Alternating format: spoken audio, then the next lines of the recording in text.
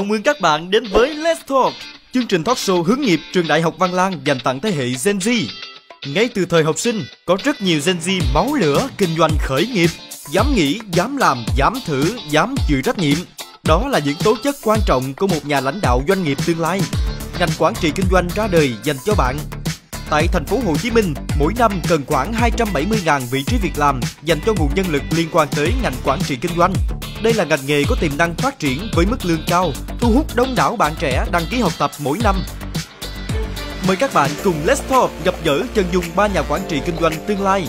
Bạn Lê Thị Tú Lệ, bạn Nguyễn Thị Thi Quỳnh và bạn Nguyễn Hồ Kim Ý, học sinh lớp 12 Trung tâm Giáo dục Nghề nghiệp Giáo dục Thường xuyên thành phố Thủ Đức. Now let's talk! Chào mừng các bạn đã đến với talk show hướng nghiệp của trường Đại học Văn Lang. Let's Talk. Mỗi tuần, một chủ đề ngành nghề khác nhau. Hy vọng Let's Talk sẽ cung cấp cho các bạn những thông tin, kiến thức hướng nghiệp bổ ích, thiết thực và đúng với nhu cầu của các bạn học sinh, cũng như đúng với thông điệp của chương trình.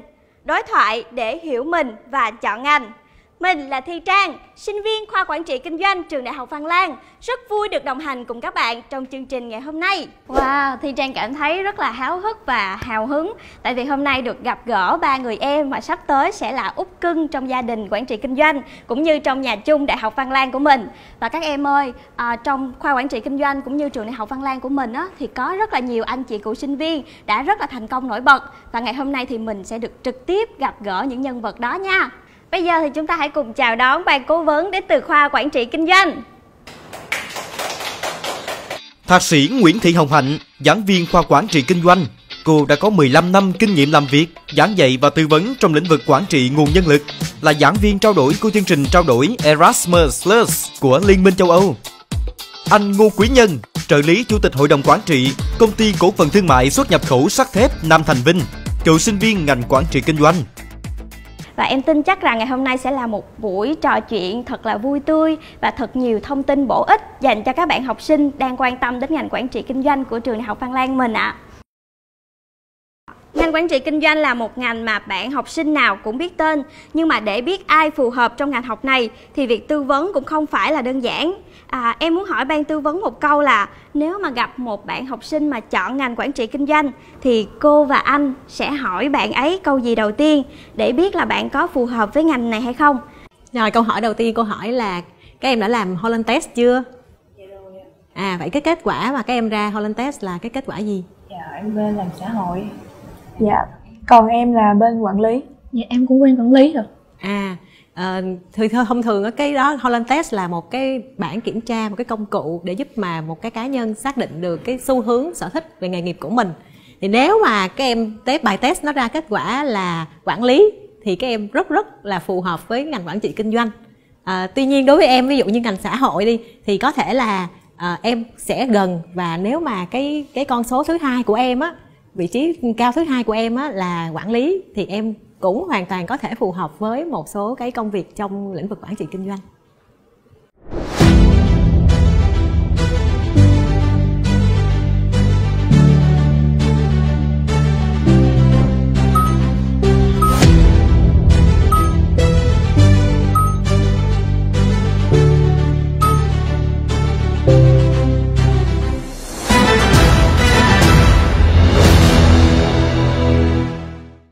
Nhà Quy thì nói là làm và chúng ta sẽ khởi động một thử thách nho nhỏ tiếp theo dành cho các bạn học sinh để thể hiện bản lĩnh của một nhà quản trị tương lai. Đó chính là kỹ năng thuyết phục. Một thử thách rất là quen thuộc thôi, chinh phục sát. Mỗi bạn học sinh sẽ có 2 phút để thuyết trình về sản phẩm trước các sát là hai thành viên ban tư vấn và thuyết phục họ mua sản phẩm của mình. Mỗi sát chỉ được lựa chỉ được chọn mua một trong ba sản phẩm. Bạn nào được nhiều lựa chọn nhất thì sẽ giành chiến thắng ở thử thách và nhận được phần quà từ Văn Lan nha. Chương trình của mình thì có 3 món đồ nè, là nón, túi canvas và một cuốn sổ. Không biết là các bạn sẽ lựa chọn cái sản phẩm nào để mà mình trình bày trước các sát thì bây giờ các bạn hãy hội ý với nhau và tự lựa chọn cho mình một sản phẩm nha. Chị thấy có vẻ như là các bạn đã chọn được món đồ mà mình thích rồi đúng không nào? Vậy thì bây giờ mình có 2 phút để chuẩn bị cho phần thuyết trình nha. Và bây giờ các bạn đã sẵn sàng chưa nào? Sẵn sàng. Sẵn sàng. Vậy thì phần thuyết trình sẽ chính thức bắt đầu. À, xin chào các sách, em tên là Tú Lệ, em đến từ công ty sản xuất uh, sổ tay. À, hôm nay em đến đây với à, kêu gọi nguồn vốn là 5 tỷ trên 10%. Tờ quyển sổ là bề màu xám, rất là sạc sang. à, bên trên có ghi là tên trường, uh, logo trường và slogan của trường. À, những trang đầu của quyển sổ là có những có những tờ bì giới thiệu về trường ngành nghề của trường uh, đằng sau là uh, một tờ giấy uh, nhiều tờ giấy là rất là dài dạng uh, ờ, đẹp. Nhìn chung quyển sổ này rất là tiện lợi nhỏ gọn uh, dễ uh, ai cũng có nên có một quyển một quyển để làm uh, làm việc. Uh, mục đích em đến đây để kêu gọi nguồn vốn uh, 5 tỷ trên 10 phần trăm. À, thế chuyện em đến hết xin cảm ơn bạn tú lệ và hai bạn còn lại chúng ta có thể dành cho bạn mình một tràng pháo tay được không nào? Và không biết là kim ý ơi em đã sẵn sàng cho phần trình bày của mình chưa? Dạ rồi ạ. vậy thì mời Dạ. em nha. Dạ em tên là Kim Ý đến từ công ty sản xuất nón. Hôm nay trên tay em là sản phẩm mẫu của công ty thì team của em đã chọn ra những màu mà nổi bật của trường Đại học Văn Lang Như là màu đỏ, màu trắng và màu đen. Thì trong đó team em thấy màu đen là nổi bật nhất. Và hiện nay thì màu đen cũng tương đối phổ biến đối với Gen Z của chúng em. Ban đầu chiếc nón rất có nhiều họa tiết nhưng team em đã gói gọn lại là sẽ lấy uh, hiệu, quy hiệu của trường đặt ngay giữa nón để làm nổi bật lên chiếc nón và phía bên ngoài là tên của trường Đại học Văn Lang.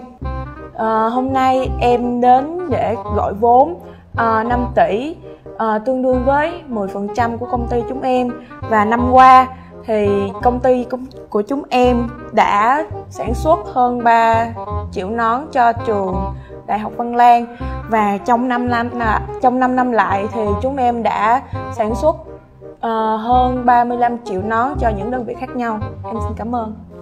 cảm ơn phần trình bày của bạn kim ý và chúng ta cũng tiếp tục cho kim ý một tràng pháo tay được không ạ? À, và bạn cuối cùng thi quỳnh. Bây giờ em có thể bắt đầu phần trình bày của mình được rồi nha. Xin chào các sách, em tên là Huy Quỳnh, hôm nay em mang đến công ty chính là chiếc túi vải này và mong muốn kêu gọi vốn đầu tư 20% cổ phần tương đương đến 500.000 đô. Để, để tạo ra một chiếc túi vải này còn có nhiều công đoạn như chọn ờ, vật liệu, xử lý khâu, may cắt ghép và nối. Chiếc túi vải có kích thước phù hợp với tỷ lệ laptop và sách vở dành cho các bạn sinh viên đi học đi học hoặc đi làm. Mặt trước của chiếc túi là vần lưu, logo và dòng chữ văn lan mang màu sắc đỏ và đen trong vòng 3 năm qua, công ty của em đã sản xuất ra 10 triệu chiếc túi vải này có thể bắt gặp bên ngoài. Các bạn Gen Z rất là ưa chuộng vì nó đẹp và thời trang. Mục đích của em tới đây để muốn kêu gọi vốn đầu tư. Năm kêu gọi vốn đầu tư 20% cổ phần và 500 ngàn đô để mở rộng sản phẩm của công ty em hơn ạ. à xin hết Cảm ơn Thi Quỳnh, mặc dù là hơi áp lực, hai bạn trước đã trình bày cũng khá là tốt Nhưng mà Thi Quỳnh vẫn trình bày tốt cái phần thuyết trình của mình Và một tràng pháo tay nữa dành cho ba bạn được không ạ?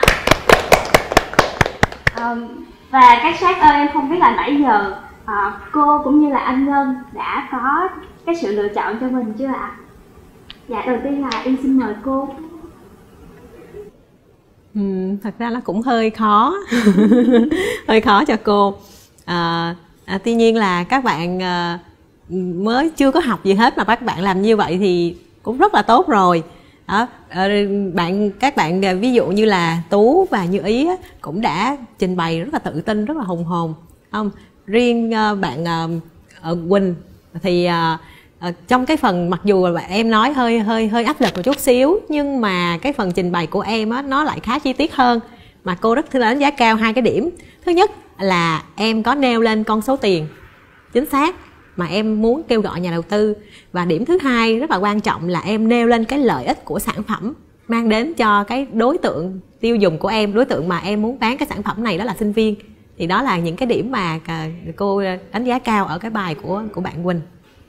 Ờ, thứ nhất á, khi các bạn trình bày một cái uh, sản phẩm của một công ty á, thì các bạn phải thứ nhất là phải chuẩn cái câu nói của mình rồi và phát âm nó chuẩn. Cái thứ hai nữa là khi mình nói mình phải tự tin về cái sản phẩm của mình mình phải nắm chắc để mình nói chứ không phải là mình thuộc bài rồi mình ngập ngừng rồi cái kiểu như mình nói không tự tin á thì chắc chắn rằng đó là không ai dám bỏ tiền ra để đầu tư cho một một sản phẩm mà mà bản thân cái người nói họ họ cũng không biết luôn đó, thì cho nên là mình phải tự tin về sản phẩm của mình.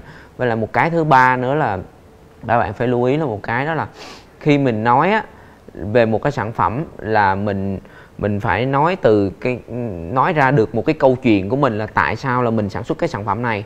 Tại, thường thường những người đi kêu gọi vốn thì mình phải hình dung đó là thường thường đó là founder hoặc là co-founder, là những người gọi là cái người sáng lập ra cái sản phẩm một cái công ty của mình, thì họ sẽ biết cái câu chuyện là mình phải xuất phát từ những cái đam mê những cái đam mê của mình á thì từ những cái đam mê đó thì nó dẫn đến một cái câu chuyện thì mình mới làm cái sản phẩm đó. Thì khi đó mình nói thì người ta mới tin. Để mà nói chuyện với nhà đầu tư á, thì em phải chứng minh được là em mang đến lợi ích gì cho nhà đầu tư nếu nhà đầu tư bỏ một số tiền 500 ngàn đô cho em. Thì cái này là rõ ràng là các em cần phải học. À, dĩ nhiên các em phải phải học ờ, rất là nhiều thứ để các em có thể hiểu được là nhà đầu tư họ muốn cái gì từ mình. Thì mình mới giới thiệu những cái điểm đó ra. Để mà mình lựa chọn được người chiến thắng trong cuộc thi vừa rồi thì à, mặc dù là nó khó nhưng mà cuối cùng cuộc thi nào thì cũng có người chiến thắng đúng không ạ? Vậy thì em không biết là cô và anh sẽ quyết định chọn ai là người chiến thắng ạ? À, thực ra thì uh, ba bạn thì uh, cũng có rất là cố gắng trong cái việc là trình bày cái sản phẩm của mình. Tuy nhiên á thì uh, anh đánh giá đây là đánh giá trên cái phần uh, kỹ năng trình bày và kỹ năng nói chuyện. Uh, thì anh chọn hay nhất thì bạn vẫn lưu lót nhất là bạn ở giữa là bạn kim ý. Xin được cảm ơn anh. Và ba bạn ơi vừa rồi thì mình đã được nghe nhận xét của cô cũng như là anh nhân. Thì mình cũng biết được điểm mạnh và điểm yếu của mình. Và các bạn hãy nỗ lực phấn đấu nhiều hơn nữa để hoàn thiện mình hơn để trở thành một nhà quản trị tương lai nha. Ngành quản trị kinh doanh là cái ngành học à, nó sẽ học về những cái môn học về cách uh, vận hành của một doanh nghiệp những cái yếu tố tác động đến một doanh nghiệp. Đó và uh, nó cũng sẽ đề cập đến cái, ờ, cái cái xu hướng của hoạt động kinh doanh trong tương lai nữa. Thì các em thấy là doanh nghiệp là cái một cái xương sống của nền kinh tế.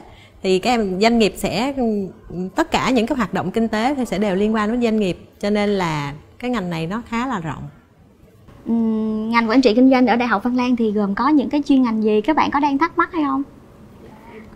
À, vậy thì em à, nhờ cô giải đáp cho các bạn về cái thông tin này nha cô. À, ngành quản trị chuyên ngành chuyên kinh doanh thì có bốn chuyên ngành. Thứ nhất đó là ngành quản trị doanh nghiệp là ngành chung và sau đó các em sẽ có có thể đi vào những cái chuyên ngành khác như là quản trị nguồn nhân lực, quản trị vận hành và chuỗi cung ứng và quản trị kinh doanh bán lẻ. Ừ. Thì uh, quản trị kinh doanh thì nó rất là rộng vào đó. Thì các em thấy là trong doanh nghiệp á thật ra muốn là bộ em học quản trị kinh doanh ra em làm bộ phận nào cũng được hết. À, à, từ cho đến là kinh phòng kinh doanh phòng kế hoạch phòng dự án phòng nhân lực à, bộ phận sản xuất QC các kiểu. À, tuy nhiên là khi mà chia chuyên ngành ra đó nó sẽ chiếm khoảng một phần năm cái thời lượng học trong quá trình đại học. Thì khi đó là các em sẽ được học sâu vô một cái mảng nào đó. Ví dụ như là mảng uh, quản trị nguồn nhân lực là khi đó đề cập đến cái chuyện là à, tuyển người rồi à, đào tạo con người rồi à, trả lương thưởng cho cho nhân sự trong công ty. Hoặc là cái mảng thứ hai là cái mảng về vận hành. Tức là làm sao là là thiết kế một cái quy trình nó vận hành một cách hiệu quả để ừ, tạo ra những cái sản phẩm và những cái dịch vụ cho doanh nghiệp. Rồi mảng thứ ba đó là mảng kinh doanh bán lẻ. Thì uh, trong kinh doanh nó sẽ có nó sẽ chia làm hai. Thứ nhất đó là B2B và B2C thì khi nói đến kinh doanh bán lẻ là chúng ta đề cập đến B2C tức là chúng ta cung cấp sản phẩm đến người tiêu dùng cuối cùng. Và ừ, hiện tại là có một cái xu hướng là lĩnh vực B2C nó đang phát triển rất là mạnh mẽ. Cho nên là ừ, ngành quản trị kinh doanh nó có thêm cái chuyên ngành là kinh doanh bán lẻ. À, đồng thời cái ngành chuyên ngành thứ tư đó là cái ngành chuyên ngành chung nó gọi là quản trị doanh nghiệp. Nó bao quát chung hết toàn bộ và bản thân mỗi chuyên ngành nó các chuyên ngành nó chỉ khác biệt nhau khoảng 20% thôi nó đi sâu vào từng cái mảng mà cô vừa mới giới thiệu dạ. Vậy thì có nghĩa là một bạn sinh viên học một cái chuyên ngành như là quản trị doanh nghiệp thì bạn à, đam mê về à, nhân sự, nhân lực thì bạn vẫn có thể làm công việc à, bên phòng nhân sự đúng không cô? Và Tú Lệ, Thiên Quỳnh và Kim Ý ơi, nhân cơ hội tham gia talk show này thì đại diện cho các bạn sĩ tử năm 12 đang chuẩn bị thi lên ngành quản trị kinh doanh của trường Đại học Văn Lang thì không biết là các em có những thắc mắc gì cần được giải đáp thì ngay bây giờ các em cứ mạnh dạn đặt câu hỏi để ban tư vấn giải đáp thắc mắc cho mình nha. Dạ em muốn là cách học về đối với chuyên ngành này ạ. câu hỏi rất là hay là đối với cách học á, thì à, mình nghĩ đó là mỗi ngành nó sẽ có những cách học khác nhau nhưng mà đối với cái à, quản trị kinh doanh này á, nếu mà bạn à, sau này có bạn học mà để sau này ra trường mà để mình đi nhanh hơn những những bạn mà cùng học với mình á thì thứ nhất là bạn cũng nên tìm một số cái công việc gọi là bạc tham ờ, để các bạn trong quá trình các bạn học nhưng mà các bạn cũng làm quen được với doanh nghiệp à, làm quen không phải là các bạn đi bán hàng hay là các bạn đi làm cái gì đó là các bạn làm việc ở đâu nhưng mà cái đó là khi mà các bạn vào các bạn làm việc đó nhưng mà các bạn học doanh nghiệp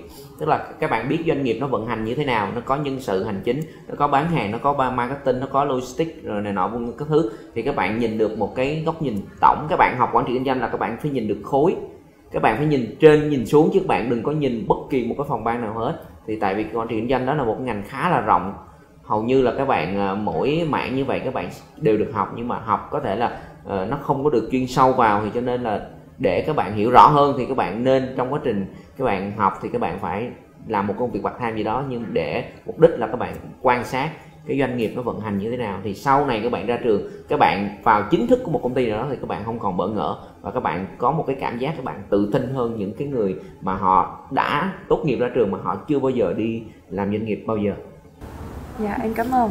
Dạ vậy thì cách học tốt nhất của mình là không chỉ học ở trường lớp Đúng thôi rồi. mà mình phải trải nghiệm ở bên ngoài nhiều đúng không anh? đúng rồi Ừm, em thấy có nhiều bạn cũng ờ, đi làm thêm ở bên ngoài nhưng mà mấy bạn chỉ làm ờ, phục vụ làm order ở một số quán trà sữa quán cà phê vậy thì không biết là khi mà mấy bạn làm ở những cái nơi như vậy những cái công việc như vậy thì có thực sự là hữu ích cho cái ngành học này của mình không anh à, ờ, mình phải xác định rõ một cái quan điểm như thế này nè mình đi làm là uh, cái công việc học vẫn là công việc chính nha.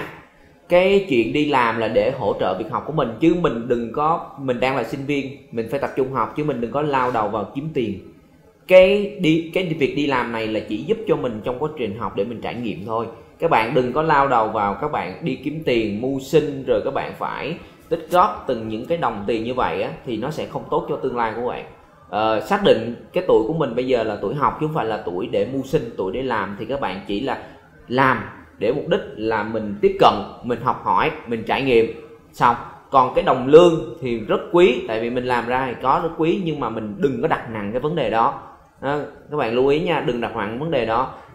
Khi mình mình ra trường rồi mình đã có kinh nghiệm rồi mình đã có kiến thức rồi mình đã có bằng cấp rồi thì mình mới đến, đến nói đến những cái chuyện là đồng lương này nọ kia à, các bạn lưu ý đừng bao giờ bị cuốn theo công việc lúc mà các bạn đang đang đang đi học thì như vậy thì thứ nhất là bạn có thể là ảnh hưởng tới việc học của bạn các bạn học sẽ không tốt cái thứ hai là có thể là cái việc ra trường của các bạn á, các bạn sẽ bị chậm hơn bạn bè của các bạn và cái thứ ba đó là các bạn dẫn đến một cái chuyện là các bạn lớn tuổi các bạn nản các bạn không có muốn tiếp tục học nữa và cái việc học của bạn sẽ bị bỏ dở đi.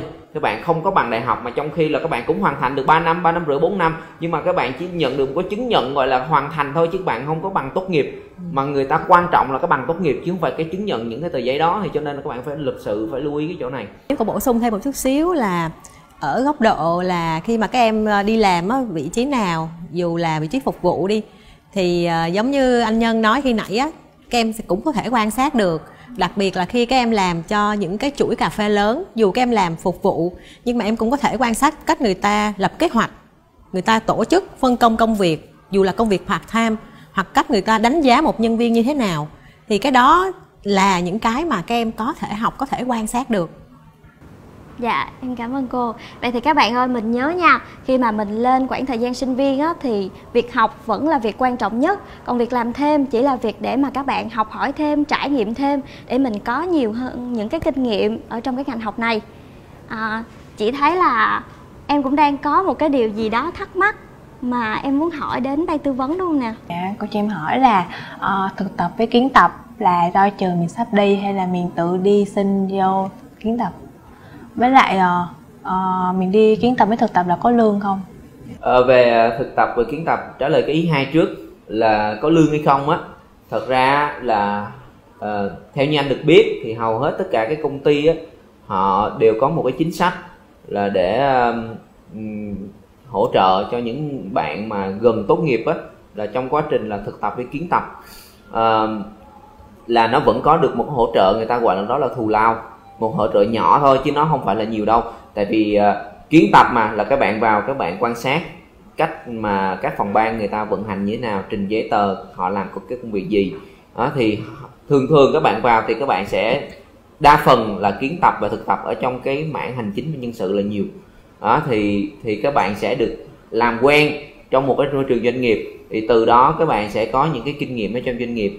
À, còn cái việc mà à, sắp xếp nhà trường sắp xếp thì mình nghĩ á, nếu được thì uh, mình nghĩ ca khó thì có thể là nhà trường vẫn sắp xếp được. Nhưng mà mình nghĩ là nếu mà các bạn trong quá trình các bạn đã đang học nhưng mà các bạn đã có công việc rồi thì thật ra thì đây là một trong những cái cơ hội tốt là đã mình đã trải nghiệm về cái chuyện kiến tập rồi đó.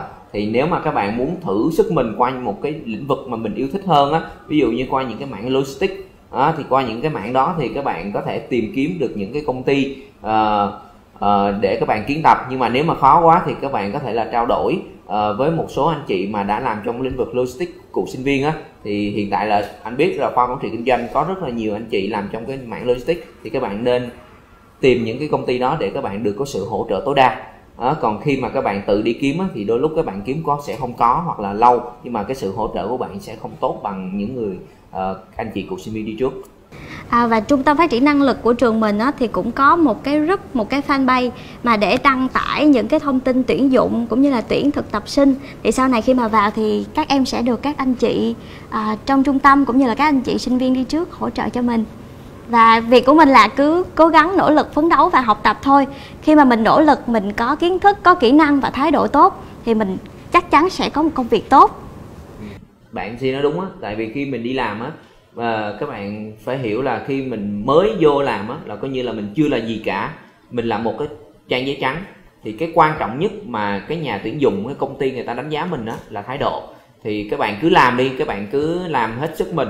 À, thì khi mà các bạn làm được rồi thì khi đó công ty doanh nghiệp người ta đánh giá lại người ta nhìn nhận lại thì thấy mình mới có năng lực. Các bạn hình dung không? Mới vô là cứ thái độ trước đã tại mình trang giấy trắng nhưng mà thấy mình có năng lực thì từ đó là người ta sẽ có những cái đề cử đề bạt rồi khi đó người ta mới nói đến những câu chuyện tương lai về sau của công ty. Đó, các bạn lưu ý là về cái thái độ và kỹ năng của mình rất quan trọng ở trong cái lĩnh vực là cái ngành quản trị kinh doanh này. Cô cũng đồng tình rất là đồng tình với ý kiến của anh nhân. Thì à, thực tế là các em thấy là doanh nghiệp họ rất là công bằng. Tức là khi mà mình đóng góp được cái gì cho doanh nghiệp thì doanh nghiệp họ sẽ trả tiền cho mình cho nên ở giai đoạn mà thực tập á, nếu mà được người ta nhận vào đôi khi đó là đã đã là sung sướng rồi tại vì mình được học mà không phải trả tiền. Khi các em đi học đại học em phải trả tiền học ở chỗ ngoài trung tâm em phải trả tiền. Khi người ta cho mình một cái chỗ ngồi người ta hướng dẫn cắt một người hướng dẫn cho mình thì người ta cũng phải bỏ công bỏ sức mà không mình không phải trả tiền gì hết. Và đôi khi mình hoàn toàn có thể chấp nhận một cái cơ hội thực tập tốt mà không trả lương. Thậm chí là vài ba tháng 6 tháng để mình có cơ hội học và khi đó khi các em ra trường khi đó rồi á, thì em hoàn toàn có thể tự tin mà điền trong CV của mình là tôi có kinh nghiệm 3 tháng 6 tháng học một năm À, cho em hỏi là à, ngành tiếng Anh nó có quan trọng với quản trị cái ngành quản trị kinh doanh này không á? Cái cái môn tiếng Anh á. Dạ. thật ra bây giờ á ờ, hầu hết tất cả các công ty họ đều rất cần về tiếng Anh Ờ, tại vì các công ty Việt Nam mình á bây giờ là họ đã phát triển kinh doanh với các đối tác nước ngoài làm việc các các đối tác nước ngoài rất là nhiều.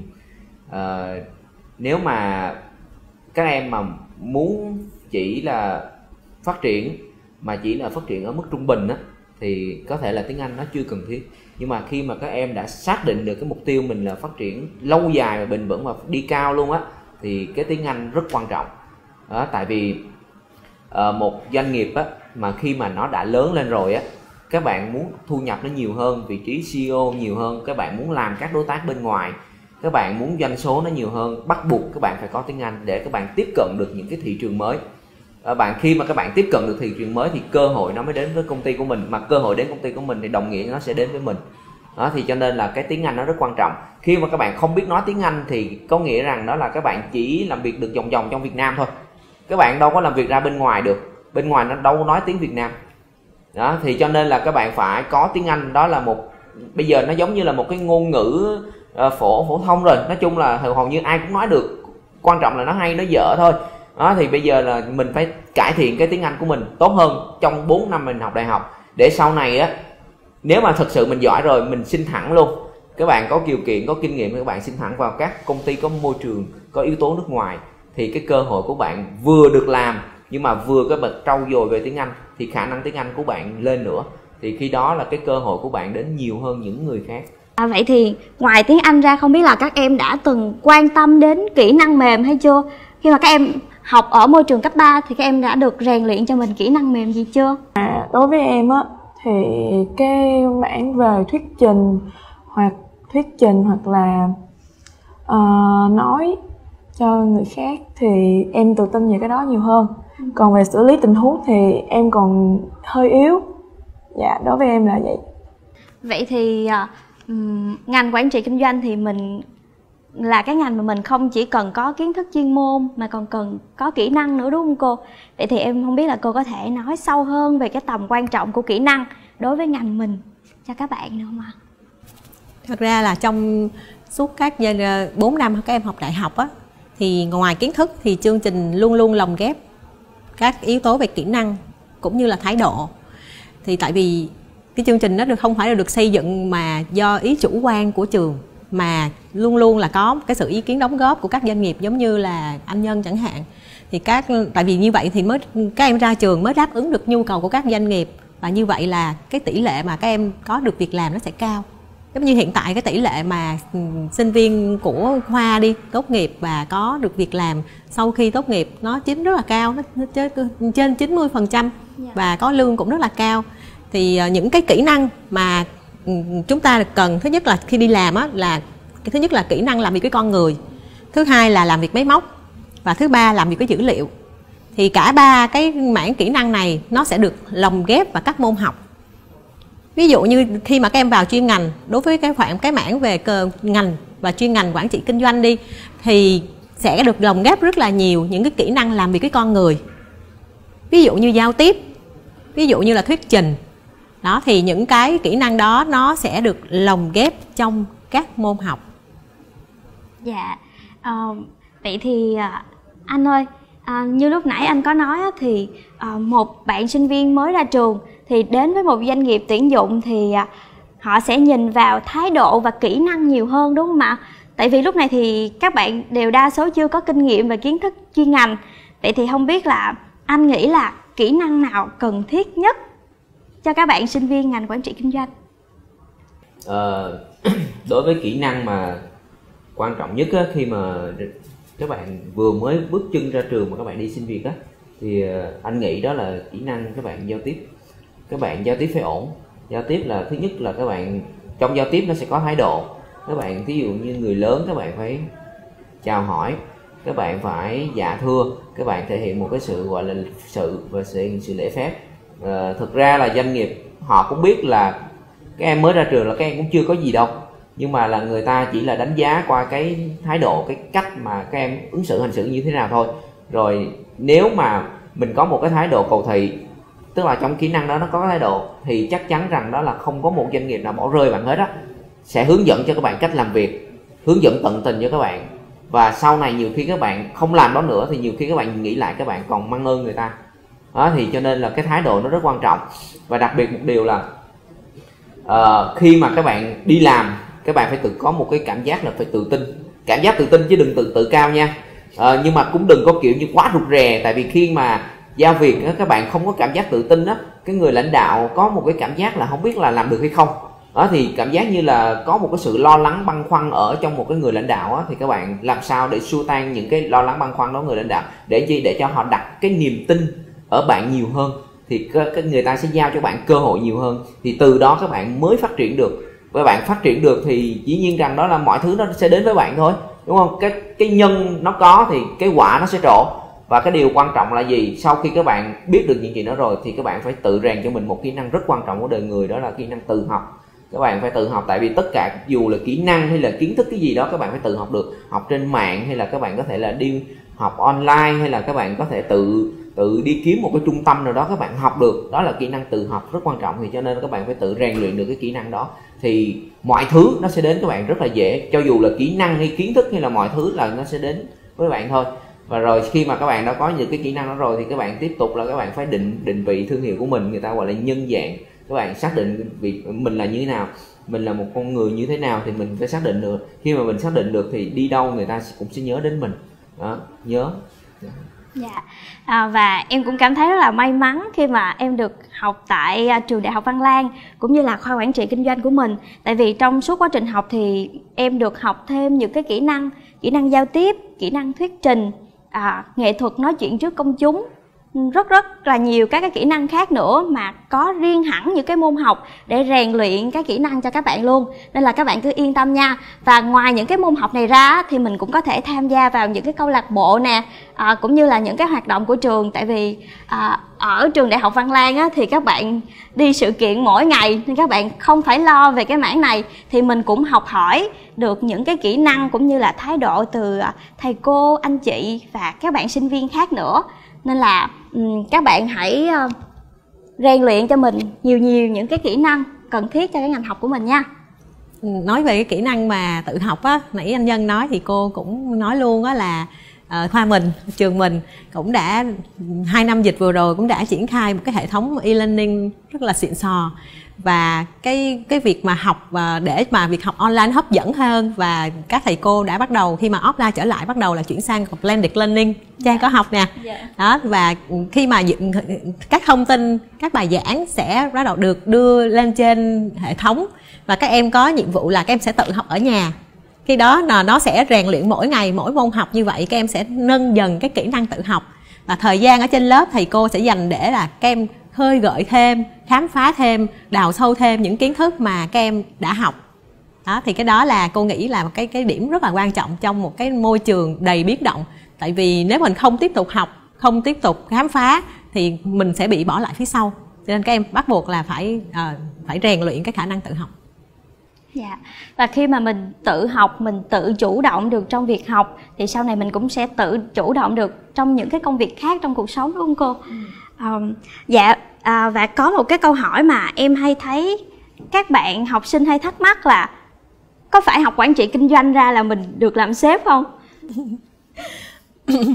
Thực tế thì các em thấy đó là uh, tất cả những người quản trị cao cấp hay là những ông chủ của những doanh nghiệp thì sớm hay muộn thì cũng phải học kinh doanh bằng một cách nào đó học tại trường đại học hay là học khi đi làm hoặc là học sâu sau quá trình mà họ lên làm quản lý.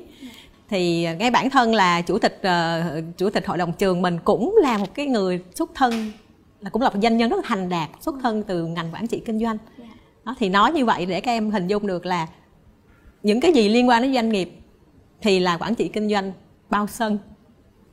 Thì các em sẽ có nó nó là nền tảng nó là nền tảng bước đầu để các em có thể khám phá những cái công việc khác nhau và tùy theo những cái cơ hội những cái tố chất của mỗi người mà các em sẽ lên cao đến đâu. Trong quá trình học thì các bạn phải xác định được cái hướng mà các bạn đi là cụ thể là cái gì. À, thì khi mà các bạn xác định được hướng của mình đi dựa trên cái đam mê của mình á thì khi đó các bạn ra trường các bạn định hướng của bạn rất rõ ràng. Thì từ những cái định hướng rất rõ ràng ở đó sẽ bạn sẽ có những cái hành động rõ ràng. Thì từ những hành động rõ ràng đó thì các bạn sẽ có được một cái kết quả các bạn mong muốn. Và có được một cái vị trí trong xã hội có một cái gia đình hạnh phúc ha, thì mọi thứ nó sẽ đến với bạn rất là tuyệt vời. Ha, thì các bạn cố gắng làm sao bây giờ xác định được cái đam mê của mình càng sớm càng tốt. Ha, thì khi đó các bạn sẽ là một người thành công sớm. À em xin được cảm ơn anh.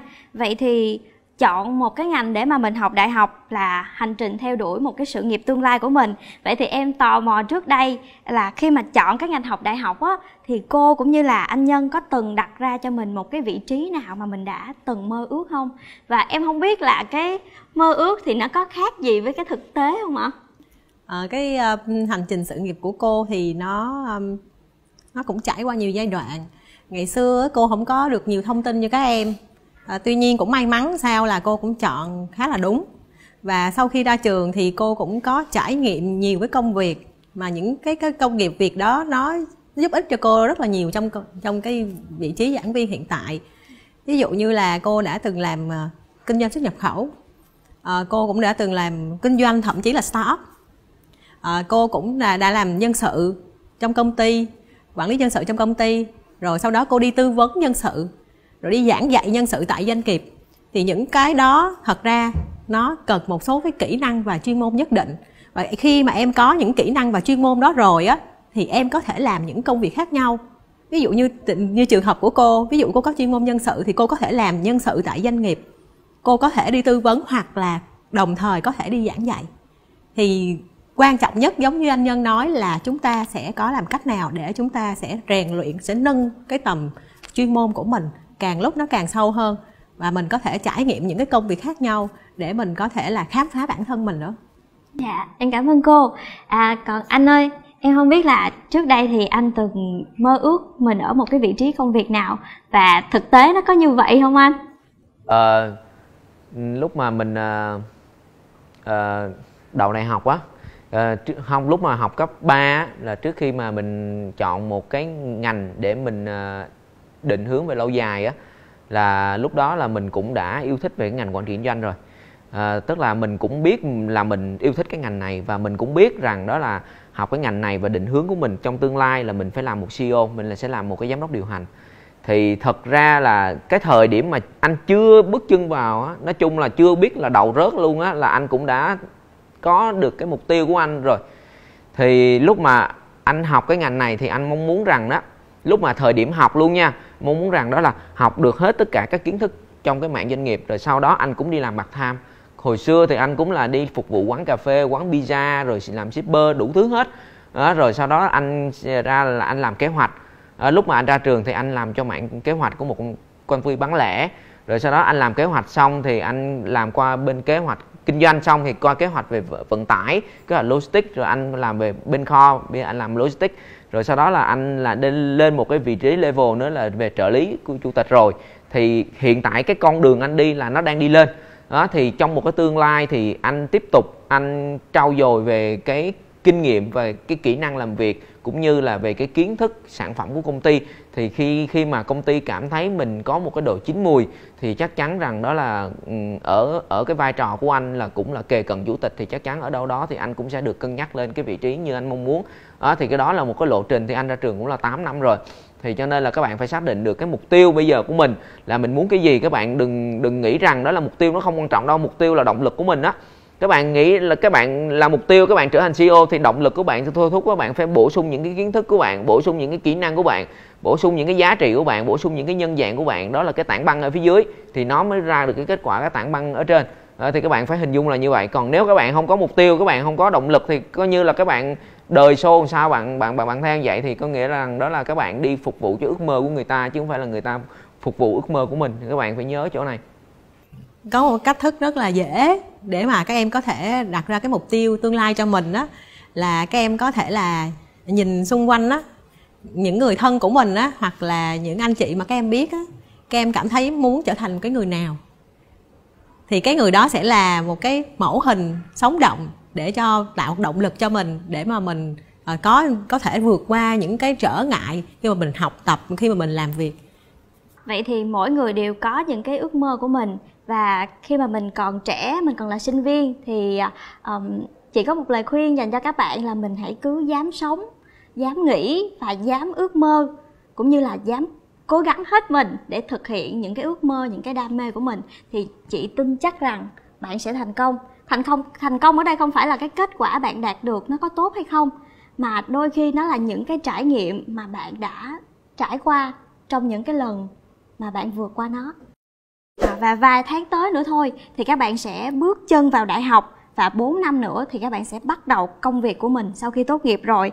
Thì sau khi nghe thầy cô chia sẻ thì nãy giờ không biết là các em có đang cảm thấy xuống sang háo hức hay không? Dạ thì uh, hồi đó nếu mà bây giờ thì em đã xác định mục tiêu rồi. Nhưng mà nếu mà về hồi đó thì em lại muốn đi kế toán hơn.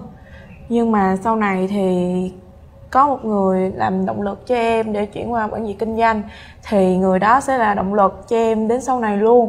Thì em một khi em đã quyết định vào khoa quản trị kinh doanh thì sau này em sẽ quyết tâm. Vì em thắc mắc là nếu như mà khi mà lên sinh viên rồi thì sẽ có những cái áp lực. Vì phía bên ngoài sẽ tác động tới mình thì uh, em muốn hỏi ban cố vấn là làm sao để mình kiếm cái cách nào đó để giảm cái áp lực đó đi một phần để tập trung vào cái uh, ước mơ của mình. Dạ. À, câu hỏi này thì chắc là em xin được mời anh Nhân nha. Tại vì anh Nhân là cựu sinh viên khoa của mình thì anh Nhân cũng đã từng trải nghiệm qua à, cái ờ, khoảng thời gian áp lực của sinh viên. Thì anh ơi anh có thể ờ, chia sẻ với bạn cách như thế nào để mà mình giảm những cái áp lực đó không anh? Nó có một cái công thức, nó có một cái uh, đồ như thế này. Đó là cái ngoại cảnh tác động vào mình đúng không? Là mình bị ảnh hưởng tới suy nghĩ. Suy nghĩ nó ảnh hưởng tới cảm xúc. Cảm xúc thì nó dẫn đến là uh, bị thay đổi về về cái uh, hành vi rồi, rồi dẫn đến là những cái hành động của mình đúng không? Vậy thì mình phải thay đổi chỗ nào? Mình phải thay đổi từ những cái suy nghĩ. Ví dụ như ngoại cảnh cho dù là các bạn học áp lực thầy cô áp lực bắt học bài rồi kiểm tra cái gì tùm lum hết. Đó thì cho nhưng mà các bạn vẫn có một cái suy nghĩ tích cực luôn luôn suy nghĩ tích cực. Suy nghĩ tích cực là cho dù các bạn trong có hoàn cảnh khó khăn nào các bạn vẫn biến chuyện nó là một cái cơ hội của bạn. Các bạn nghĩ rằng ví dụ như là học uh, uh, marketing nhiều khi chán quá rồi học thuộc bài chán quá thì các bạn cứ nghĩ đó là uh, đây là một trong những cái chuyện là mình phải phải học coi như là mình học không chưa chắc là mình làm nhưng mà mình học là để cho mình biết uh, thêm những cái kiến thức để sau này bổ sung vào cái mục tiêu của, của của em thôi. Thì em cứ nghĩ đơn giản như vậy thôi để cho nó nó cái suy nghĩ của mình đơn giản và nó cởi mở và nó vui vẻ thì nó dẫn đến cho em là có một cái cảm xúc tích cực hạnh phúc thì em làm điều đó, chứ còn em ghét nó, em bỏ nó thì cảm xúc em khó chịu là em là quay ngược là em là nói cô rồi em lại đi đi đi tùm năm, tùm bảy, em nói xấu tùm lum hết mọi người hết. Thì khi đó là cái cái môi trường của em rồi bạn bè của em nó bị tiêu cực, bị tiêu cực. Và em cứ mang những cái suy nghĩ và những cái cách hành động như vậy mà em đi mang vô một cái công ty thì nhiều khi sếp em mà nghe được những câu chuyện đó là nhiều khi lại lại đánh giá em. Thì cho nên lại là không hay, cho nên là em phải thay đổi từ những suy nghĩ. Đó, thì thí dụ như bị áp lực, đúng không? Thì thứ nhất là em có thể là gạt nó qua một bên đi ví dụ như ai nói xấu mình hay mình gạt nó ra quan bên mình không quan tâm. Cái thứ hai là em có thể là em đi đi chơi đi cà phê giải stress thì nói chuyện với bạn bè đó rồi sau đó là thứ ba đó là em có những cái đó là tập thể dục hay là có những cái sinh hoạt gì đó nó lành mạnh là giúp cho cái đầu óc của mình không nghĩ đến nó nữa. Suy nghĩ không nghĩ đến nó nữa và đừng có nghĩ đến những cái tiêu cực đó nữa. Em phải nghĩ nó uh, tích cực lên em nghĩ nó tích cực lên. Nó là màu hồng và cho dù điểm thấp các bạn cũng cũng đừng có lo lắng các bạn cũng đừng có lo lắng, tại vì cái chuyện học nó không phải là kết quả của bạn trong tương lai. À, mà cái, cái kết quả của bạn trong tương lai đó là các bạn làm gì và suy nghĩ gì thì nó ảnh hưởng tới kết quả của bạn trong tương lai. Còn cái chuyện học đó là các bạn mục đích của bạn ra cầm cái bằng đúng không? Các bạn xác định là cầm cái bằng đúng không? Thì các bạn cứ xác định là cầm cái bằng. Rồi còn hay là các bạn muốn uh, sau này là trở thành một uh, cái cái người là diễn giả hay là giảng viên gì đó thì các bạn mới xác định là à, tôi là kiến thức là tôi phải học hết trăm trăm coi như là tôi học 80 là 80 trăm là được. Còn nếu các bạn cầm, các bạn các bạn đi làm thì cứ khoảng là 50 60 trăm là các bạn đã thành công rồi.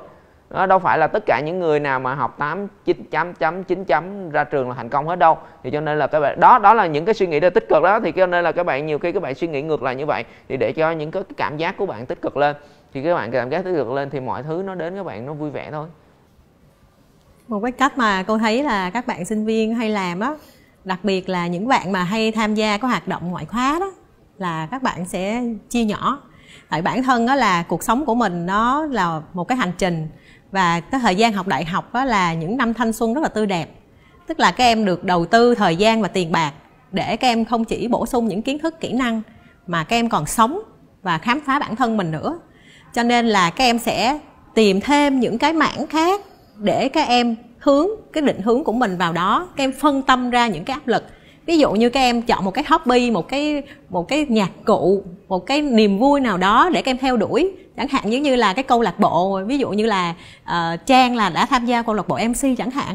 Thì những cái đó là một một cái không phải là việc học nhưng nó là một cái đam mê nhưng mà nó rất là nó bổ sung cho cái cái việc học và nó giúp cho mình uh, giảm được cái áp lực của của của của cái uh, cái việc học đi. Dạ, ngoài à, suy nghĩ tích cực hơn, lạc quan hơn và chọn cho mình một cái đam mê, một cái niềm vui thì à, bình thường em cũng có một cái tip để à, giảm căng thẳng lúc mà học là đọc sách. Khi mà em đọc sách thì em vừa được giảm căng thẳng mà em vừa được biết thêm những cái kiến thức ở bên ngoài nữa. Thì em thấy đó cũng là một cái tip hay mà em muốn chia sẻ với các bạn. Um, vậy thì uh, thi quỳnh ơi chị thấy hình như là em đang có cái điều gì thắc mắc? Thì uh, bây giờ em có thể à, đặt câu hỏi đến cô cũng như là anh nhân nha. Dạ là gia đình em bên họ hàng thì họ chuyên về bên dược. Và họ muốn em cũng học bên dược. Và bản thân của em bây giờ thì em cũng đã đăng ký một trường dược. Nhưng mà niềm đam mê của em với lại em có một người chị họ học bên quản trị kinh doanh. Chị đó tiếp thêm sức mạnh cho em. Nhưng mà họ hàng lại nói là học xong tốt nghiệp ra trường thì cái ngành nó học rất là lan man và mở rộng.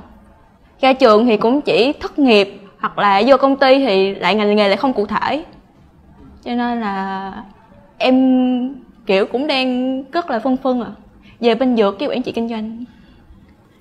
Rồi có hai vấn đề. Thứ nhất đó là uh, thất nghiệp quản trị kinh doanh thất nghiệp thì như nãy cô chia sẻ đó thì tỷ lệ mà sinh viên ra trường mà tốt nghiệp và có việc làm và thậm chí có lương cao luôn là rất là cao trên ờ, trên 95% thì tại vì ở đâu mà em cũng cũng thấy doanh nghiệp hết mà.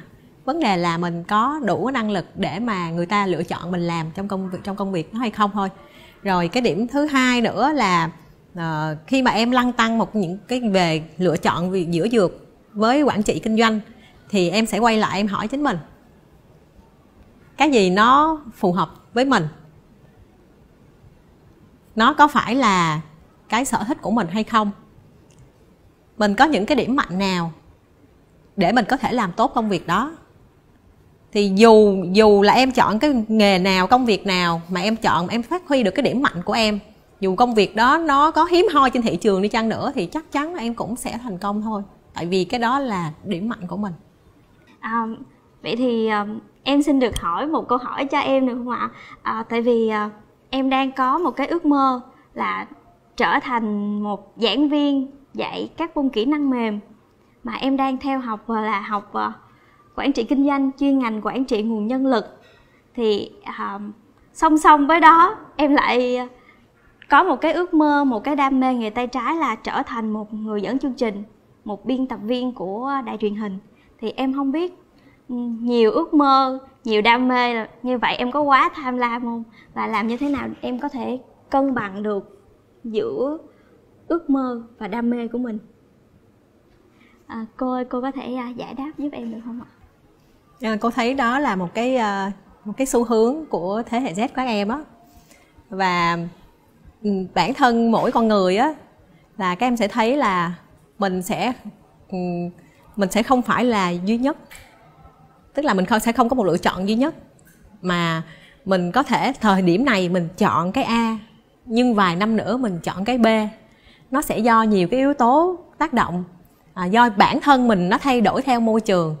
Do mình lên level hay là do những yếu tố khác ví dụ như mình lập gia đình chẳng hạn thì những yếu tố đó nó sẽ tác động đến sự lựa chọn nghề nghiệp của mình rất là nhiều. Và bản thân em ví dụ như là em có rất là, là rất là nhiều cái điểm. Và cô thấy là rất là nhiều bạn trẻ bây giờ người ta có thể tận dụng hết những cái điểm mạnh và cái đam mê của mình. Ví dụ như là ban ngày em em có thể đi làm công ty trong lĩnh vực mà mình được đào tạo. Ban đêm em có thể đi làm mc đó thì cái đó cũng là một cái và vừa mình cân bằng cuộc sống mà mình lại tăng thu nhập nữa. Thì cô thấy điểm đó là cô rất là thích ở những cái cái bạn thế hệ trẻ bây giờ luôn. Dạ. Yeah. em cảm ơn cô ạ. À. anh không biết anh có lời khuyên gì dành cho em không ạ? À, à, hiện tại là à, em đang làm một công việc khác đúng không? Nhưng mà em có đam mê là về mc thì thì nó nó sẽ giống như một cái câu chuyện á là cái công việc nó nuôi mình đúng không? Một cái công việc nó làm ra thu nhập để nó nuôi mình và một cái công việc là đam mê của mình. Thì anh nghĩ á là em vẫn phải làm cái công việc đó để nó nuôi sống em đã. Còn cái đam mê của em á em có thể là sử dụng cái đồng tiền đó em phục vụ cho cái đam mê của em để em phát triển. Em đừng bỏ nó. Em không bỏ nó nha rồi đến một lúc nào đó em đam mê, gọi là, cao rồi đó, em và nó đam mê là một chuyện nha, nhưng mà khi mà em đã đam mê rồi mà em đã làm nó rồi, thì em đã trở thành một cái chuyên gia trong một cái cái mà em đam mê rồi, thì em có thể là chuyển, em có thể chuyển cái công việc này của em qua cái công việc em đam mê. Thì khi đó là em có cả hai, thì là vừa làm được cái công việc mà mình đam mê, mà mình cũng vừa có được cái thu nhập thì em cũng cũng phải xác định tư tưởng ban đầu là tại vì mình làm vì đam mê mà. Thì khi đó là khi mà em chuyển qua thì có thể là nhiều khi là cái cơ hội cũng giống như là cái thu nhập của mình là chưa được như cái công việc cũ. Anh ví dụ như vậy. Thì ở đâu đó em phải cố gắng hơn nữa, có thời gian hơn nữa. Thì đến một lúc nào đó thì cái sự đam mê của em sẽ là động lực của em. Thì những cái chuyện mà kết quả của em á thì nó cũng sẽ đến với em thôi. Đó thì thì cho nên là anh, anh nghĩ là ờ, em vẫn phải nuôi dưỡng cái đam mê đó đi đừng có bỏ nó. Tại vì tiếc lắm tại vì đôi lúc cái đam mê đó cũng là cái điểm mạnh của mình á. Đó đôi lúc điểm mạnh của mình á nhưng mà mình không không không không không bỏ nó tại vì mình phải thúc đẩy nó lên. Để sau này em lớn tuổi hơn thì chính vì cái đam mê đó nó làm cho cái sự nghiệp của em nhẹ nhàng hơn. Đó, còn nếu mà không em không có đam mê thì nhiều khi một ngày mình đi làm nhiều khi là một cả một áp lực. Đó thì quay lại một chút hồi nãy anh nói với bạn chút đó là cái hoàn cảnh của bạn á là là gia đình là có truyền thống về dược, đúng không? Nhưng mà là bây giờ là bạn muốn là đi về kinh doanh, đúng không? Thì thật ra là bạn nằm trong một cái trường hợp là các bạn có hoàn cảnh thì, nhưng mà quan trọng là gì? Quan trọng là cái nghị lực của bạn. Cái nghị lực của bạn có vượt qua được hay không? Cái thứ nhất là cũng giống như là các bạn phải xác định được là em muốn cái gì. Xác định được mục tiêu của mình là em muốn cái gì và em phải thuyết phục, em phải nói chuyện. Còn nếu mà em không thuyết phục mà em không nói chuyện được với gia đình á, thì em phải theo gia đình. Nhưng mà theo gia theo gia đình, nhưng mà anh phải nói trước nè là nếu mà sau này em đi làm em có cảm giác không hạnh phúc mỗi ngày mà em bước chân đến công ty á, thì em không được đổ lỗi. Em không được đổ lỗi là, ơ gì hồi xưa là là con nghe ba, con nghe mẹ. Đúng không? Bây giờ em không được đổ lỗi mà em phải cố gắng, em phải theo cái nghề dược. Em phải theo cái nghề dược của luôn, của em luôn. Còn đam mê của em ví dụ như quản trị kinh doanh, thì bây giờ em phải thuyết phục, em phải nói ba mẹ em á, thì phải làm sao để, tại vì đó là cái công việc của mình. Sau này là mình là cái người làm việc với nó, nhưng mà em phải có động lực nha em phải có động lực và có nghị lực thì để em vượt qua được cái đó. Anh Nhân ơi, khoa quản trị kinh doanh của mình là một khoa rất là đông dân tại trường Đại học Văn Lang và nổi bật với nhiều các hoạt động phong trào. Và em cũng rất là tự hào khi mình cũng là một người con của gia đình quản trị. Và là tiền bối của em. Thì không biết là sau khi đã tốt nghiệp rồi thì anh còn cái điều gì ấn tượng từ khoa quản trị kinh doanh của mình không ạ? À, cái điều ấn tượng nhất khoa Triển Danh đó là đến bây giờ là thứ nhất là có truyền thống. Thứ nhất là truyền thống là ờ, cứ hàng năm cứ có những cái sự kiện mà mình tổ chức liên tục như vậy á và mình có theo dõi cái fanpage á thì mình thấy nó đều tổ chức và càng ngày nó càng mới mẻ hơn. Thì hiện tại là cho dù mình vẫn ra trường nhưng mà mình vẫn follow theo những cái hoạt động của khoa thì cho nên là rất ấn tượng.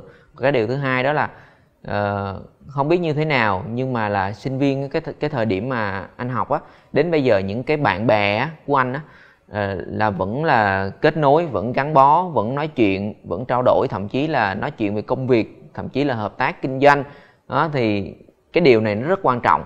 Thì, thì cho nên á là uh, có một một điều là phải muốn nói đó là nhờ cái văn lan mà mình có được những cái mối quan hệ và cũng nhờ Văn Lan mà mình có được một cái môi trường để giúp cho mình học tập và có mình thêm cái nghị lực để mình phát triển trong cuộc sống và cũng như là trong công việc. À, có thể là à, nhiều khi ừ, cái môi trường nó quan trọng lắm á tại vì có thể là những cái trường khác nhiều khi mình học nó đơn giản nó dễ quá thì nhiều khi nó không có động lực cho mình. Nhưng mà thời điểm mà học văn lan á thật sự là uh, anh thì nó cũng là một trong những cái hoàn cảnh thì chính vì đó thì anh bắt buộc phải thành công như hồi nãy anh chia sẻ với em á đó thì chính vì cái văn lan và hoàn cảnh của anh thì đó là một cái nghị lực của anh phải vượt lên.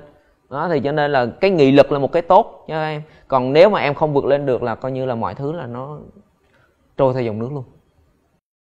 Dạ, em xin được cảm ơn anh Nhân. Và với Thi Trang cũng vậy, với em cũng vậy Thì à, với em thì khoa quản trị kinh doanh của trường Đại học Văn Lang Với em như là một gia đình. Và tại nơi đây á, thì em không chỉ được học tập Được tham gia các cái hoạt động ngoại khóa mà em còn được tìm lại được chính bản thân của mình ngày xưa và tìm ra được những cái ước mơ mà mình nghĩ là mình đã bỏ lỡ, mình đã gian dở từ rất là lâu rồi. Và nơi đây cũng là nơi mà giúp cho em có cái động lực để mà thôi thúc mình cố gắng không ngừng để phát triển bản thân nhiều hơn nữa. Khi mà nghe anh nhân chia sẻ thì à, tụi em có cái điều gì à, thắc mắc nè? Hay là muốn đặt câu hỏi gì về à, khoa quản trị kinh doanh hay không? Dạ cho con hỏi là uh, câu lạc bộ của khoa là mình đăng ký ở đâu và cách tham gia như thế nào? Yeah. thật ra là cái việc tham gia câu lạc bộ á, là nó rất là dễ dàng và nó luôn khuyến khích tất cả các bạn sinh viên tham gia. Ở trường mình á, thì các em có rất là nhiều các câu lạc bộ tại vì trường mình đa ngành đa nghề mà. Đó là một cái nguồn lực mà cô nghĩ là không có nhiều trường đại học mà có thể có các em có thể tham gia ờ, nếu mà các em tham tham gia về ờ, tổ chức sự kiện cũng có do khoa BA chủ trì. Ờ, ví dụ như khoa mình đi là khoa kinh doanh thì mình có câu lạc bộ khởi nghiệp. Và định kỳ hàng năm á, thì khoa có một cái sự kiện rất là lớn đó là một cái chương trình thi khởi nghiệp là ra khơi. Thì nó quy tụ rất là nhiều sinh viên không chỉ sinh viên của khoa mình mà sinh viên toàn trường và sinh viên các trường đại học khác nữa và khoa trường cũng đã mời các rất là nhiều các anh chị doanh nghiệp và những người thành danh những những sát ở bên ngoài làm những mentor làm ban giám khảo cho cuộc thi. Và đó là một cái chương trình gọi được xem là nó là đặc thù của của khoa mình. À, ngoài ra thì những cái ờ, câu lạc bộ như là về thể thao hoặc câu lạc bộ về dance hoặc là ngay cả như các em muốn làm phim thì cũng có những cái liên hoan phim rất là lớn hoặc gần đây là cô thấy là những bạn mà uh, có có dáng đẹp đẹp mà cao cao á thì đi casting làm uh, người mẫu cho bên khoa uh, thời trang họ uh, họ thi họ thi uh, cuối cuối kỳ. Thì cái đó là nó có rất là nhiều cái hoạt động và quan trọng là các em thích cái nào em lựa chọn cái nào thôi. Thì hôm nay chúng ta cũng đã có một cái buổi trò chuyện rất là vui vẻ. Và nếu mà chỉ dùng một từ để mô tả về sức hấp dẫn của ngành quản trị kinh doanh và nhiều cái điều thú vị khác thì ờ, em không biết là ban tư vấn mình sẽ chọn một từ gì ạ? À? À, trước hết em uh, mời cô ạ. Một từ thì nó hơi khó ha. cô là cô là một cái cụm từ đi ha. Là một cái theo cô nha ờ, là một cái môi trường tuyệt vời để trải nghiệm. Thì các em biết đó là quản trị kinh doanh cũng như kinh doanh nó là một cái lĩnh vực nó hết sức là năng động và nó đầy thách thức. Nó luôn luôn có sự biến đổi nhất là trong giai đoạn covid này nè. Em thấy là các ờ, công ty đóng cửa hoặc là giải thể rất là nhiều nó biến động. Và cái người mà tham gia vào trong hoạt động sản xuất kinh doanh đó cũng phải có những cái tố chất rất là linh hoạt phải bản lĩnh và phải tự tin. Thì những cái điều đó, đó là tốt nhất để mình có thể rèn luyện những điều đó không phải ngồi trên giảng đường mà là những trải nghiệm. Giống như cô nói hồi nãy đó là cái quá trình học đại học nó không chỉ là cái giai đoạn mà em học về kiến thức về kỹ năng về thái độ mà là một giai đoạn em sống thanh xuân của mình em khám phá bản thân của mình em tìm kiếm những cái năng lực mà mình chưa được khám phá. Và những cái trải nghiệm sẽ giúp cho em tìm thấy chính mình. Ở, ở văn lang các em sẽ có cơ hội được trải nghiệm rất là nhiều. Có rất là nhiều để, để cơ hội để trải nghiệm. Ví dụ các em bước vào trong trong trường đi. Các em bước các em để để đi tham quan trường hết trường rồi đúng không? Thì các em sẽ thấy là từng ngóc ngách của văn lang các em sẽ cảm nhận được cái hơi thở thời đại. Và các em thấy là hơi thở thời đại đó đối với những bạn mà có tính hướng ngoại á giống như là cá gặp nước vậy đó. Còn đối với những bạn mà có tính hướng nội á thì các bạn sẽ phải thấy nó cảm nhận nó và di chuyển theo cái dòng chảy đó. Tức là dù em mang tính cách nào em bắt buộc phải theo dòng chảy đó. Em trải nghiệm theo nó và văn lan mang cái cơ hội đó. Đối với mảng học thuật thì ca trường và khoa sẽ mời những cái anh chị doanh nhân lên lớp. À, trang là biết nè đó, mỗi môn học thì các anh, các thầy cô sẽ mời các anh chị lên lớp để các em có được ờ, cái mối quan hệ một cái network giống như là những anh chị thành danh, giống như là anh nhân cụ sinh viên nè. Rồi ờ, trường và khoa cũng tạo những cái cơ hội để các em trải nghiệm, đến kiến tập tại doanh nghiệp. Đó, và hay là thông qua những cái cuộc chơi. Đó, và quan trọng là chuyện mà các em giữ lửa, giữ cái ngọn lửa đam mê của mình, tạo cái động lực cho mình trong suốt cái quá trình học cái đó ừ, để cho mình ờ, nó rất là quan trọng để cho mình có thể là mình học mỗi ngày mỗi tốt hơn. Và và trong uh, trong khoa quản trị kinh doanh đó thì cô thấy là uh, các bạn á ví dụ cô quan sát các bạn từ năm nhất cho đến năm ba thì cô, cô thấy là cái hành trình của các bạn có những cái sự vượt bậc rất là đáng kể. Nhất là những bạn sẵn sàng uh, lao vào những cái trải nghiệm giống như vậy. Và mục tiêu của giáo dục không chỉ là kiến thức nó là một cái hành trình khám phá bản thân để các em tìm kiếm để các em trở thành những cái con người mà bằng phiên bản tốt nhất của chính mình cái đó cũng là sứ mệnh của trường đại học văn lang Em xin được cảm ơn cô. À, vậy thì anh Nhân ơi, không biết à, với anh thì anh dành một từ để mà mô tả cái sức hấp dẫn của ngành này thì anh sẽ dùng từ gì ạ? Ờ, cái từ mà nãy giờ anh cũng suy nghĩ đến nhưng mà sau khi mà liên kết lại những cái câu chuyện liên kết vào những cái công việc mình làm với những cái gì mình học thì cái từ đó là cơ hội. Thì uh, cơ hội là có nghĩa rằng đó là quản trị kinh doanh đó là một cái ngành là các bạn học rất là rộng nhưng mà nó không sâu. Nó hơi nó sẽ không không có sâu khi mà các bạn ra trường được các bạn muốn sâu các bạn phải đi sâu hơn nữa. Nhưng mà đó là cái cơ hội của bạn để các bạn khám phá bản thân mình. Đủ để kiến thức đó là đủ để các bạn khám phá bản thân mình là mình đam mê cái gì mình thích cái gì để mình đi theo cái đó. Thì cái đó là một cái cơ hội. Còn các cái ngành nghề khác ví dụ như nó đã đi sâu rồi thì các bạn rất khó, đúng không? Các bạn rất khó để các bạn chuyển qua một cái khác, tại vì các bạn chuyển coi như các bạn bắt đầu lại từ đầu. Còn đây là nó có một cái nền tảng, ví dụ như thang điểm 10 thì đâu đó là các bạn cũng học được 3 phần 4 phần chứ, đúng không? Rồi sau đó các bạn nâng lên, thì nhưng mà cái nền tảng của các mạng đó các bạn có quản trị ờ, chuỗi cung ứng nè, logistics nè, nhân sự, hành chính nè, kinh doanh nè, tài chính, kế toán là các bạn đều học hết. Nhưng mà thì cái đó là cái cơ hội để các bạn phát triển là mình mạnh cái lĩnh vực nào, cái thế mạnh ở đâu và mình đi theo nó và mình gắn bó nó để trở thành một cái uh, thương hiệu của mình trên cái lĩnh vực đó luôn. Xin được cảm ơn anh. À, và em có nhớ một câu nói là hạnh phúc hay là thành công không phải là đích đến mà là chặng đường chúng ta đi qua. Và hy vọng rằng chặng đường mà các bạn sắp tới sẽ sống và đi qua cùng Văn Lan sẽ là khoảng thời gian thanh xuân thật là đẹp đối với các bạn. Cảm ơn cô, cảm ơn anh Nhân cũng như là cảm ơn ba bạn. Hôm nay đã có mặt tham dự chương trình ngày hôm nay và chúc cho ba em uh, sẽ chọn được một ngành học phù hợp với năng lực và ước mơ của mình. Hẹn gặp lại các em ở uh, khoa quản trị kinh doanh và ngôi nhà chung Văn Lan nha. Xin chào và hẹn gặp lại ở Let's Talk tuần sau. Xin chào. Em cảm thấy ngành quản trị kinh doanh rất phù hợp với em và em tin rằng tháng 8 sắp tới em sẽ trở thành sinh viên của trường Đại học Văn Lang. Sau khi được gặp gỡ và được ban tư vấn chia sẻ, em cảm thấy rất tự tin và chắc chắn sắp tới em sẽ theo ngành quản trị kinh doanh của trường Đại học Văn Lang.